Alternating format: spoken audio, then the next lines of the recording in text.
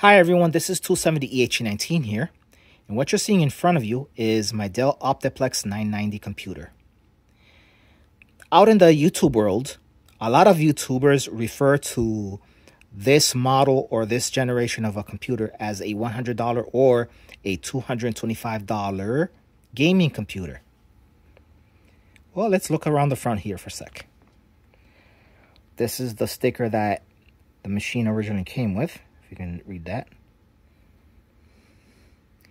And this is the model right over here. And let's look up above. Well, what do we see up above is the manufacture date. So we are dealing with 2011 processing power. Back yonder right over here, we see some window stickers. Yes, This computer originally started life as a Windows 7 computer.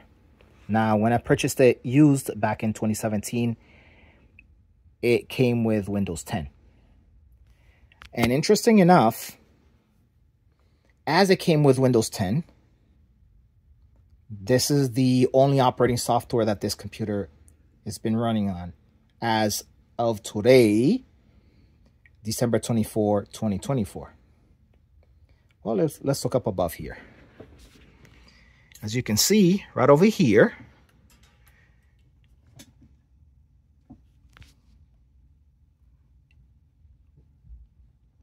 we look at the screen and this is how the Windows 10 looks like as of now. Looks really nice and it did its job. However, this thing is soon to become a Linux computer because number one, as of October of 2025, Windows 10 is going to be going out of support. And number two, the computer doesn't meet the Windows 11 requirements from what you guys saw already. The manufacture date, yeah, this thing is running on 2011 processing power. Well, so what we're going to do today is we are going to turn this Windows 10 computer into a Linux Mint computer. Let's meet you at the other side after I do everything else. As you can see here, this is my Linux Mint 22 64-bit version recorded onto DVD-RW.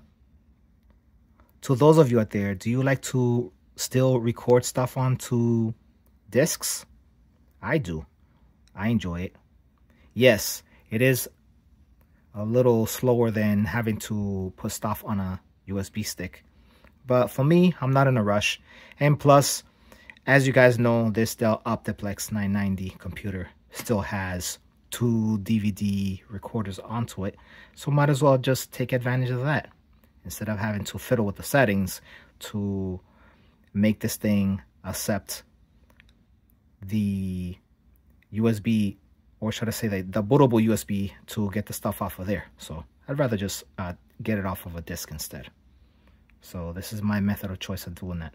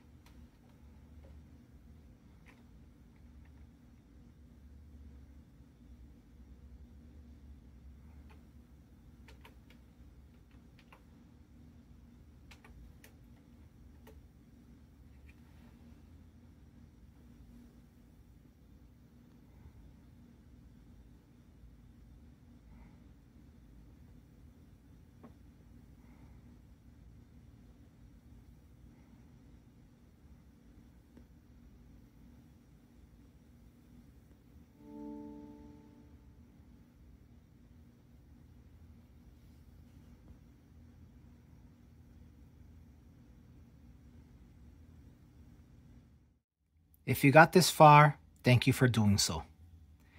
This video is not meant to be a tutorial to train you to convert a Windows computer to a Linux Mint computer.